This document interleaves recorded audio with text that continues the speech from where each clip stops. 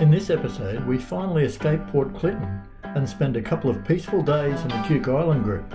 Then we head to Australia's sailing mecca, Middle Percy Island, where we check out the iconic Cruises A-frame and make a visit to the island's homestead. And in our galley, Karen whips up a beautiful Mediterranean inspired mackerel dish in just minutes.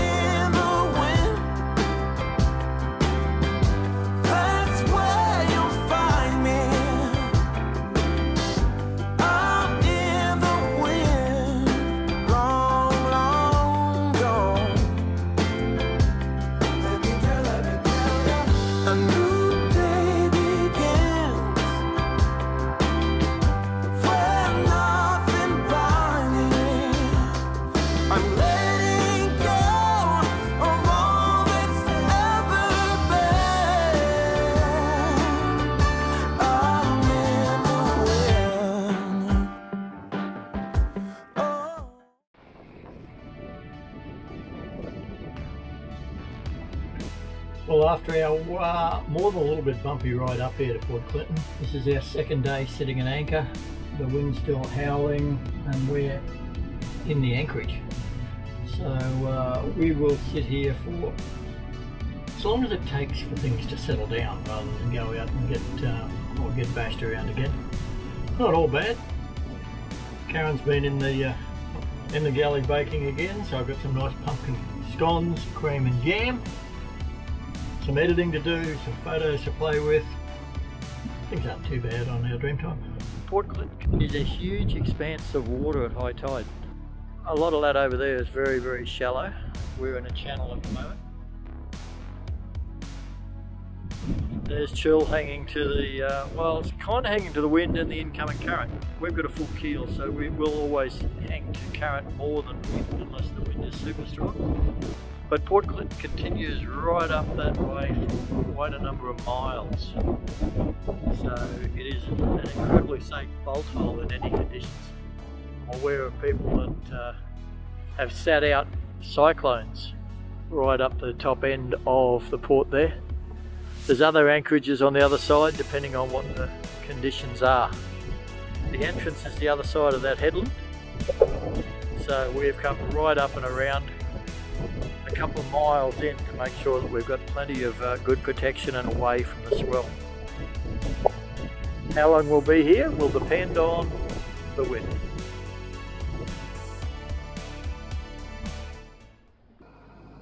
June 10th, Wednesday, I believe. Is it Wednesday? Wednesday. We've slept in. we have. We- It's past dawn. I like that. We looked at the weather last night and went, no, we're not going tomorrow. And we get up this morning and uh, look at the weather again and it's all changed. Not only that, Robin Karen on SV Shore had actually already left. So we had the absolute perfect scenario where we could call them up on the radio and say, what's it like outside Port Clinton? And they said, far, far nicer than it has been. So as a result, we've up anchored and we're on our way to Hunter Island. Rob's just clipped on. He's going forward. We need to change the lines over for the pole. We've currently got 15, 16 true. And we are dead downwind, so our Yankee won't actually um, hold by itself in that. So we need to use the pole. Safety first again, Rob is actually hooked on and he'll be changing things over.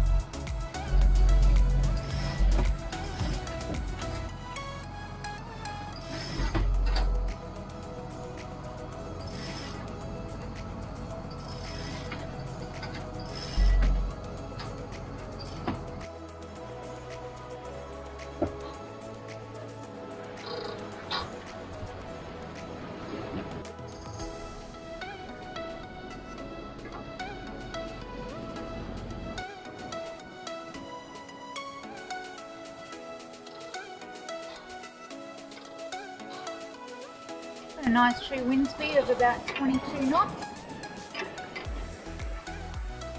About 120 degrees. And uh, rather gentle swell that's just rolling in under the stern.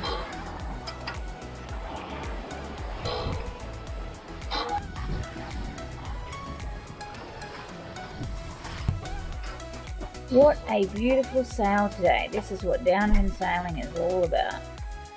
Very, very different to last Sunday, that is for sure. The wind has eased right off on we've got about mm, 10, 11 knots.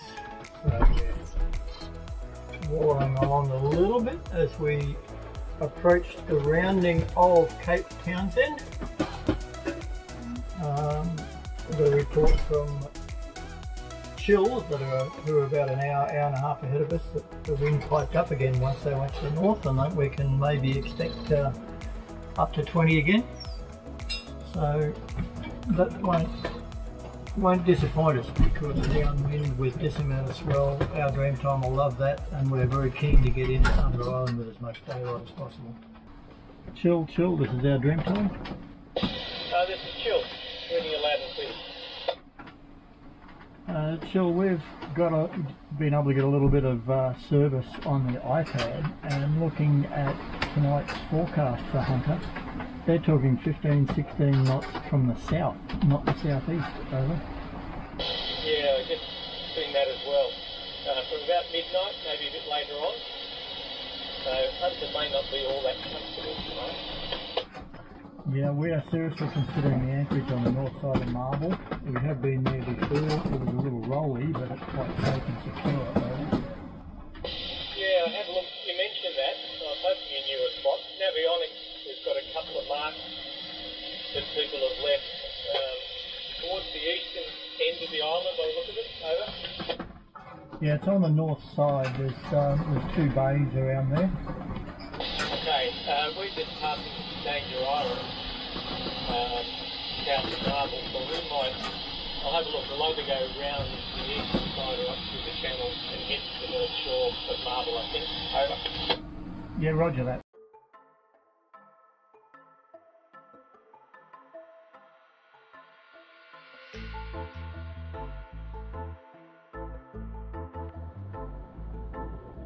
Our anchorage here on uh, Marble Island is actually been fantastic.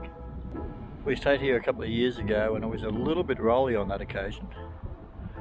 But we've had 20 knots of southeasters over the last couple of days. We've got a very small swell coming into the bay.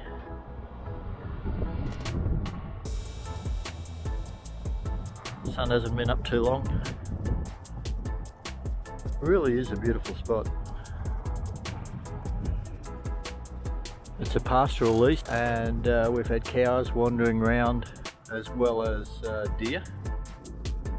The only downside of it is that we can't actually go onto the island proper. We're restricted to the beaches to the high water mark. It is private lease and as I explained with the deer they, uh, they do some shooting so they don't exactly want tourists wandering around uncontrolled and getting in the way of, uh, of something high speed and nasty but it has been a great spot. Good morning, Thirsty Sound. This is our dream time, just like the log on. We have just up anchored and are leaving Marble Island, heading to West Bay at Middle Percy Island. Over.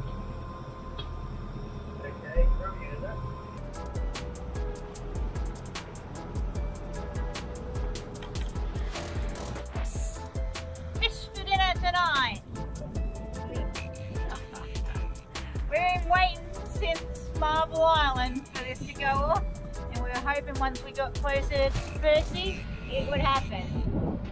Whoa, he's gonna fight you too. Whoa! Oh, exciting. Nice! Okay. Got a lure in his mouth, alright? Yep, that's right. Wrap him in the towel. Now I was stepping out here to say there's Middle Percy Island coming up. The wind's just now come up with a decent wind angle, believe it or not, because it has been really up our tail and only about six or eight knots, so we've been motor sailing across. And now that it's channeling down between Middle Percy and South Percy Island, we've got a bit of decent wind. But uh, We're not too far out of uh, West Bay at Middle Percy now. So I reckon it's time I went back on the wheel and started earning my keep. Not a bad fish, sweetheart. No, it's a good one, huh? Few meals out of this one. Yeah! And how good is West Bay at Middle Percy Island? It is stunning, isn't it? It is really beautiful. We were concerned that it could be uh, fairly rolly in here, but there's just a tiny bit of swell entering the bay, not enough to worry us at all. It does have a reputation as being, um, well, Alan Lucas in his guidebook describes it as abysmal. Over there on the beach is the internationally famous uh, Cruises A-frame. Not sure how long we'll stay a day, two, three, who knows? We'll work it out. We've got fish to eat.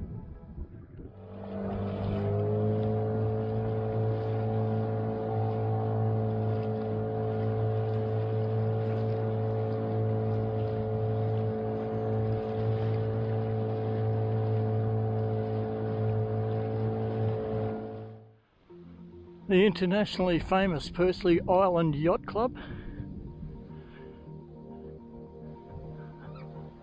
A real must-do mecca for uh, Australian cruisers. And have a look at the memorabilia. Everybody wants to leave their mark on this place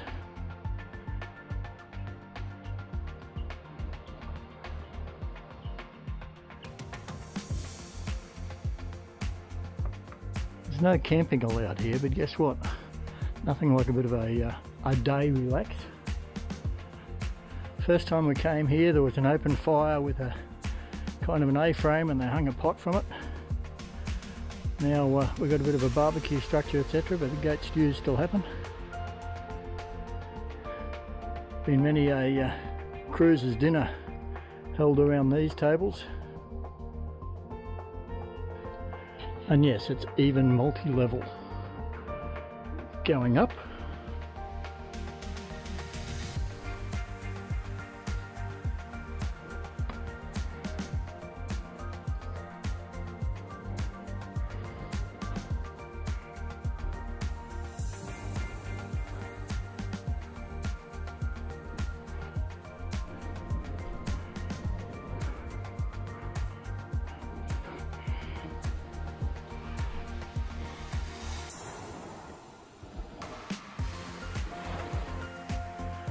That's a view across to uh, Digby Island. And beyond that, Mackay on the mainland.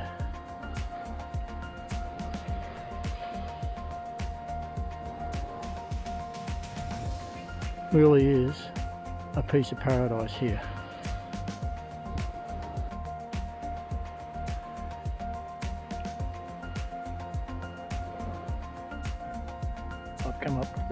Mountain here at uh, Middle Percy Island to get some phone reception so that we can get a weather forecast. And I've discovered uh, three of the locals, black and white goats. Plenty of uh, goats on the island. They are maintained by the leaseholder in manageable numbers, hence quite often down at the A-frame. Cruisers will be in there having uh, a very enjoyable goat stew. So I walk up the hill, achieved getting weather. It's all about finding some phone service so you can find the weather. What it did is tell us that there's some strong winds coming next week. So we're going to have a lovely day here at uh, West Bay, Middle Percy Island tomorrow and then it's going to be time to bug out and find a, a nice, nice safe bolt hole while some pretty strong southeasterlies blow through. This is beautiful. Absolutely stunning.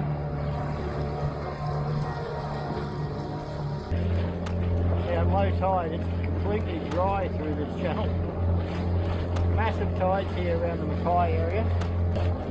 And you'd be amazed at the size of boats that do come through this little channel on a high tide and get on the inside for careening. The tide goes out, they're left high and dry, leaning against the pylons, and they can check their hole, do whatever maintenance they like. If you have a look at the uh, marks on the rocks, you can see how far further up the tide still has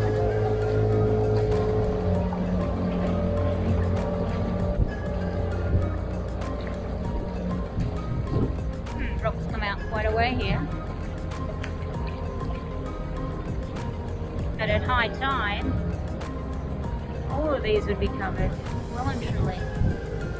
We do know one blow coming through with uh, strong winds when some of our friends with catamarans, I think three or four of them all came in here and just uh, sat on the dry, like the trimaran has done, up near the mangroves. At low tide he'll be sitting in the sand.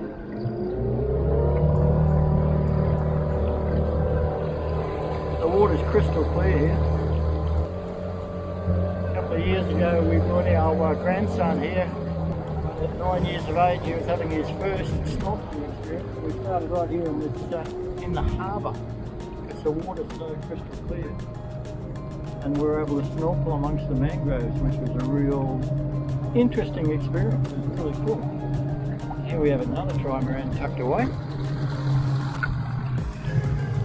Karen does a 360. so you can see, it doesn't matter what blew through, you'd be nice and safe in here. Unless you're a monohull like us, it's just going to fall over at low tide. We're heading off up the walk to the homestead today. yeah, we're going to go up the hill to the middle of Middle Percy. the middle of Middle Percy. So from, from the west to the middle. There you go. There you go. Sometimes it's all about timing, and on this day, ours was perfect. When we got to the beach, we were offered a lift up to the homestead in the back of the island ute.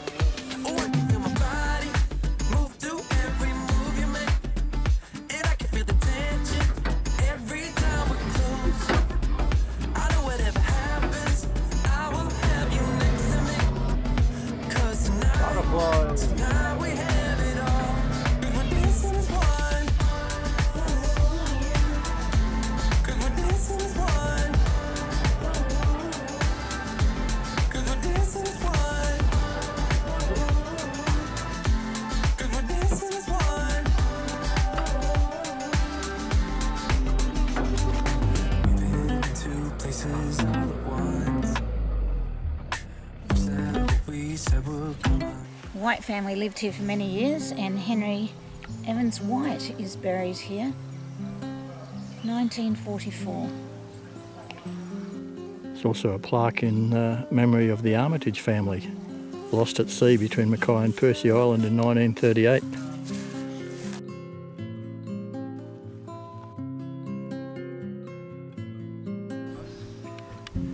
Beautiful organic garden, just the way they should be.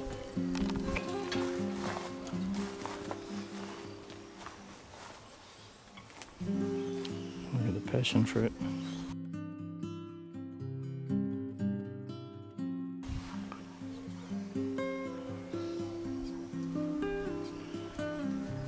Definitely have to try and be self-sufficient when you live on an island like Middle Percy. Custard apple, absolutely beautiful. Look at that.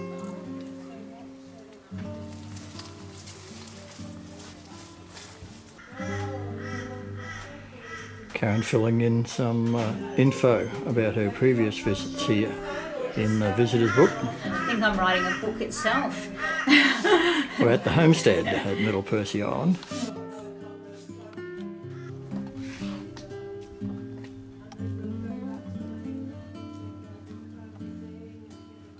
What an amazing experience to be here once again and to meet Cate luscious gardens that she has and such a great history here. Look at this. Who has passion fruit growing and it's a tree here? it's just amazing.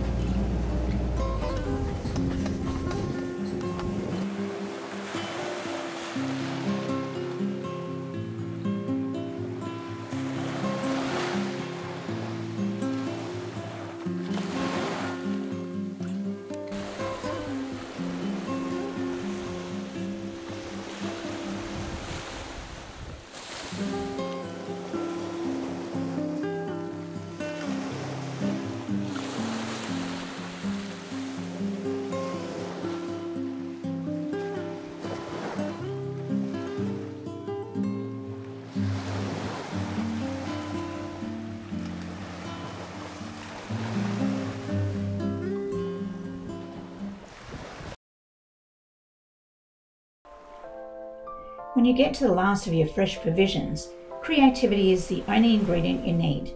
Tonight, we of course have beautiful fresh mackerel fillets. Adding some olive oil and butter to the medium pan. At this stage, I add some dry Italian herbs and saute the onions, Brussels sprouts, and some salami for a bit of extra spice. Once the onion has cooked clear, I add the half cherry tomatoes and some sliced capsicum. Once warmed through, I add the sliced cabbage. Push all the vegetables to one side and add a little bit more butter. Now add your fish, the skin side down. I like to put the skin side down first. In four minutes, turn your fish over. Add a teaspoon of capers and a good sprinkle of sea salt flakes and a good grind of pepper. Cook the fish for a further four minutes. Serve your vegetables with the fish placed on top. Don't forget a good squeeze of lemon will bring all your flavours together. A great healthy meal in no time. Sit back and enjoy. If you're enjoying our videos, please make sure you give us a thumbs up and subscribe to our channel. It really does help us with YouTube to reach more people. If you also hit the bell button, you'll be notified each time we release a new episode. Come sail with us again soon.